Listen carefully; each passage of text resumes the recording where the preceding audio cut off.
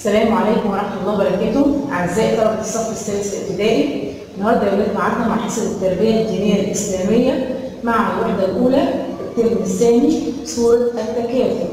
تعالى كده نقرأ مع بعض يا ولاد السورة ديت أعوذ بالله من الشيطان الرجيم.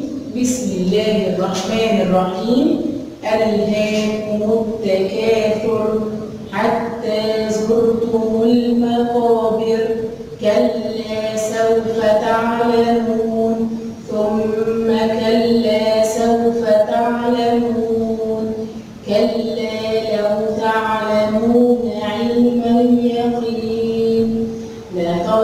لترون الجحيم ثم لترونها عين اليقين ثم لتسألن يومئذ عن النعيم.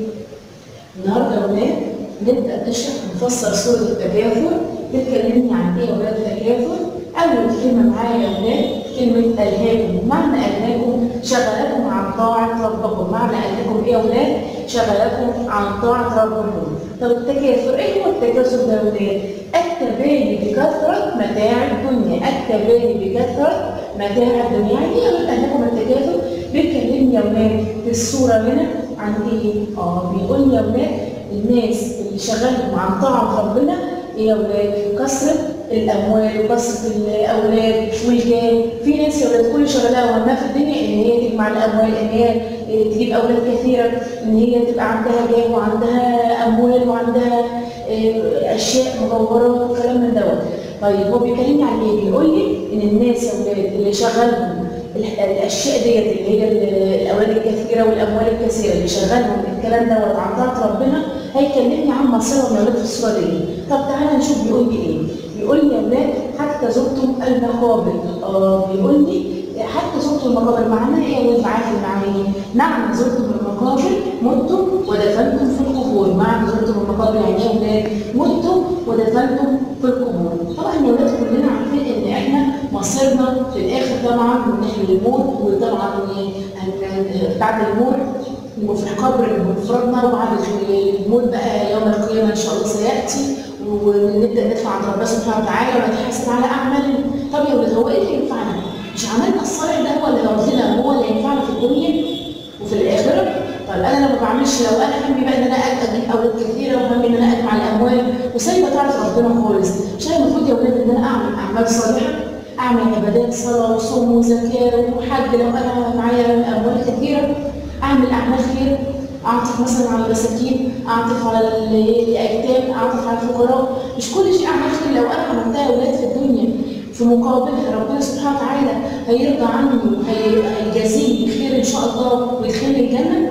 طيب فبيقول لي يا ولاد الناس اللي شغالة عن طاعة ربنا اللي كسرت الأموال والأولاد والجاه إيه اللي حصل؟ آه بيفكرني بقى إن في يوم القيامه سياتي وإن أنا لازم إيه أتذكر إيه اللي هيحصل في يوم القيامه بالنسبة للناس ديت. طيب بيقول لي يا ولاد كلا سوف تعلمون ثم كلا سوف تعلمون كلا لو تعلمون علم اليقين طب كلا سمع كلا سوف تعلمون ثم كلا سوف تعلمون الثلاث ايات دول يا ولاد آه ده بيأكد لي على أهوال يوم القيامة بيأكد لي على إيه؟ أهوال يوم القيامة يقول لي إيه طب تعالى نشوف معنى لو تعلمون علم اليقين يعني إيه يا لو تعلمون علم اليقين لو تعلمون ما قالكم علم اليقين لما قالكم التكاسل إنتوا عارفين إن إنتوا في نهايتكم تبقى الجحيم أو النار طالما أنت انشغلت في الدنيا وهمك في الدنيا جمع الفلوس وجمع الاولاد أو أو انجاب الأولاد الأطفال يبقى أنت كل همك هو هم الدنيا ما بعملش حاجة لاخرتي يبقى أنت لازم تعرف إن أنت مقالك للموت ونهايتي طبعا الموت لو أنا ما عملتش الأعمال الكويسة يبقى أنا أكيد إيه في إيه؟ في النار. فبيقول ولادنا كلا سوف تعلم ثم كلا سوف تعلم ده تأكيد لما إيه؟ لما نعرفه عن إيه؟ عن أهوال يوم القيامة. كلا لو تعلمون علم اليقين طب يعني إيه لما قلنا كلا لو تعلمون علم اليقين؟ قلنا لو تعلمون ما قالكم علما يقينا لما قالكم لو تعرفوا نهايتكم كانش إيه كانش شغلكم عن طاعه ربنا إيه قصة الإنجاب للأطفال أو قصة الأولاد وقصه الأموال والتفاخر إيه بيهم طيب بيقول لي ولاد بعد كده تترون الجحيم هما الناس يا ولاد اللي شغالهم عن طاعه ربنا الأشياء اللي قلناها دي كلها هيبقى مصيرهم إيه؟ طبيعي أنا ما عملتش عبادات وما عملتش وما طلعتش ربنا وما عملتش أي حاجة إيه تنفعني في آخرتي هل ربنا سبحانه وتعالى هيجازيني إن هي يدخلني الجنة بعد كل الأعمال السيئة دي أو ما بعملش أي حاجة طاعه؟ لا ده أنا هخش إيه الناس اللي هي اللي عملت الاعمال ديت واتلهت عن طاعه ربنا مصيرها يا ولاد هو مقالها ودخولها يبقى إيه؟ الجحيم اللي هي نار إيه؟ جهنم إيه؟ والعياذ بالله. يبقى لترون الجحيم يا ولاد معناها والله لترون الجحيم. معنى لترون الجحيم والله لترون الجحيم. يعني ان شاء الله يلهاكم التكاسل اللي شغلتم عن طاعه ربنا التباهي والتفاخر بالإيه؟ بالاموال والأولاد أنتوا إيه؟ تشوفوا الجحيم بإيه؟ باعينكم. ويا ولاد هنا معانا بعد كده الايه بعدها ثم ترونها عين اليقين عين اليقين يا ولاد معناها المشاهدة يعني انت هتشوف بعينك هتشوف بنفسك مش العين هي مسؤوله عن النظر آه يبقى عين اليقين هنا معناها نفس اليقين وهو المشاهدة بيقول لي حبايبي إن هنا الناس اللي هي اللي عملت الأعمال ديت واشتغلت العبادات وبتعمل أعمال صالحة مصيرها للجحيم والنار جهنم والعياذ بالله وهي إيه يا ولاد كمان؟ آه هيشوفوا بأعينهم معنى المشاهده يعني إيه؟ هيشوفوا بأعينهم إيه يا ولاد؟ نتيجه انشغالهم بالايه؟ بالدنيا عن الآخرة مش هم انشغلوا بالدنيا عن الآخرة ده بقى يبقى مصيرهم إن هم إيه؟ يشوفوا بأعينهم يوم القيامه ويشاهدوا نار إيه جهنم وايه ويعذبوا في نار إيه جهنم وفي الجحيم. معايا آخر آية الناس ثم تسالون يومئذ عن النعيم. آه هنتمنى في الوقت ده يا ولاد هتمنوا طيب العيش. يتمنوا إيه؟ طيب العيش. معنى النعيم طيب الإيه؟ العيش. والمراد إيه يا ولاد بالنعيم؟ الذي الهاكم عن طاعة الله يبقى يا ولاد في الآية الأخيرة الناس يا ولاد اللي هم كانوا مدينين عن طاعة ربنا سبحانه وتعالى إيه اللي هيحصل لهم يا ولاد؟ يتمنوا طيب العيش. يبقى الآيات دي كلها تنهي عن التفاخر والتكاثر بالأموال والأولاد والجاه إن عاقبه أولاد ذلك سيئة هل أنا لو أنا اشتغلت في الكلام تبقى عاقبته حاجة كويسة عليا في الآخرة؟ لا عاقبته إيه؟ سيئة. ويحط على إيه الآية القرانيه دي أو الايات القرانيه دي؟ يحط على إيه؟ يحط على العمل الصالح والانشغال بطاعه ربنا سبحانه وتعالى وكمان بتؤكد الايات ديت الايات الكريمة بتاعت سورة التكاثر أن يوم القيامه يوم حق في يوم هيأتي وعلى أن الحساب إيه كمان يا ولاد حق ان أنا هتحاسب من ربنا سبحانه وتعالى يوم القيامة. وتدعو الايات إلى إيه يا ولاد كمان؟ إلى شكر الله تعالى على نعمة باستعمالها في الخير. آه النعمة اللي ربنا سبحانه وتعالى ينعم عليها بيها استعملها في الخير. وسبب حسبنا الله سبحانه وتعالى على ما قدمناه في هذه الدنيا وعن نعم طبعا كلنا يا ولاد هنحاسبوا ايا كان هنحاسبوا على إيه؟ ايا كان أنا اعمالي خير أو شر لازم يكون في يوم القيامة حساب لكل الايه لكل الأشخاص.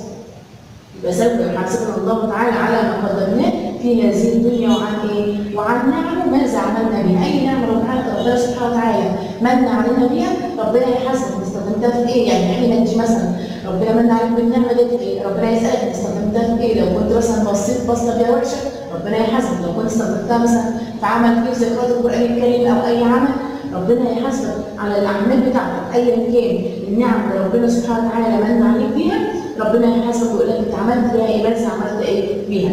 فيجب يا أولاد ان إحنا نشكر الله سبحانه وتعالى على نعمه وأن نحسن إيه؟ أهم حاجة أن نحسن استخدامها.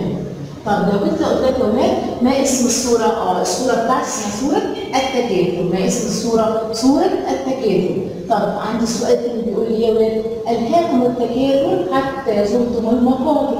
ده جزء من السوره بتاعتي. بتقول تشير هذه الآية إلى صفة مذمومة. فما هي؟